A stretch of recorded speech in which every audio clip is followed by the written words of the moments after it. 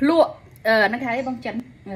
ឈីថយឈីថយឈីថយចិនហ្នឹងចិនចិនចិនមកភ្លក់អានោះអេថ្ងៃយកក្នុងចាននេះទៅឬមើលខ្លួនឯងទៅហ្នឹងគេហៅគេឈីថយគឹមឆាយអូគឹមឆាយគឹមឆាយគឹមឆាយភ្លក់គឹមឆាយអឺហៅគេស៊ីអូចេះចិនទេណាថ្ងៃនេះស្រួយស្រួយបងហេអត់មានហាងទេជិះកាក់មួយញ៉ាំមួយបង មកគុំមកគុំគេថាអស់ស្ទះអញ្ចឹងតែម្ដងបាទចាសសូមជម្រាបសួរពុកម៉ែបងប្អូនខ្ញុំអមរាវិលជាថ្មីជាមួយនឹងពិធីធ្វើកងឆាយមហាសែនបែបងាយស្រួលបំផុតនៅលើលោកកាចានៅដើមវីដេអូថាគឹមឆាយខ្ញុំសូមអភ័យទោសផង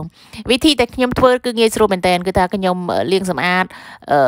ស្ពៃស្ពៃហាងរបស់ខ្ញុំហ្នឹងកាត់ស្លឹកចេញឲ្យស្អាតហើយលាងឲ្យច្រើនទឹកខ្លាំងមែនតើណាពុកម៉ែបងប្អូន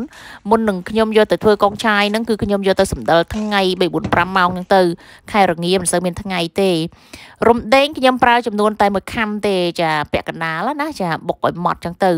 ឡូវនេះខ្ញុំចាប់ផ្ដើមប្រឡាក់ចាដាក់អំបិលរបស់ខ្ញុំចំនួន2ស្លាបព្រាបាយពេញពេញបំផុតចាហើយច្របាច់ច្របល់អីឲ្យឡើងសពសាច់ចារលាយអំបិលអស់រហូតដល់ចេញទឹកចឹងណាបងប្អូនចានេះ គឺខ្ញុំផ្អាប់ហ្នឹងណាគឺថាខ្ញុំអាសាមកគោកន្លែងហ្នឹងខ្ញុំធ្វើរៀងយូរដែរបងប្អូនទ្រាំតែអំបិលហ្នឹងរលាយសពអស់ទុក1ម៉ោងអញ្ចឹងទៅ1ម៉ោង2ម៉ោងទៅល្មមមករលាយទុនអស់ហើយទើបខ្ញុំយកមកប្រឡាក់គ្រឿង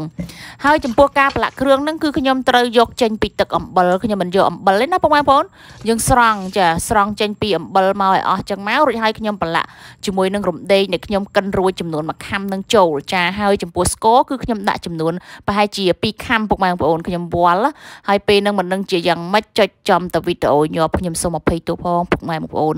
បន្ទាប់មកគឺខ្ញុំច្របល់ឲ្យសពសាច់ខ្លាំងមែនតើហើយញាត់ឲ្យឡើងណែនបំផុតចាទុកនៅខាងក្រៅនឹងចំនួនផែមួយអាទិត្យកាលនោះខ្ញុំ live វីដេអូពុកម៉ែបងប្អូនខ្ញុំស្មានថាខ្ញុំបានថតតែភ្លេចថតអញ្ចឹងខ្ញុំ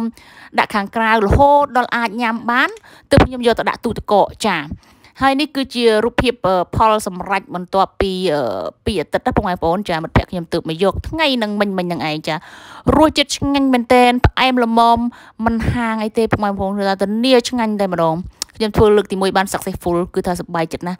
ចាពុកម៉ែបងប្អូនបើសិនជាចូលចិត្តវីដេអូរបស់ខ្ញុំសូមកុំភ្លេចណាជួយ like ជួយ share ជួយ follow ឲ្យខ្ញុំម្នាក់មួយផង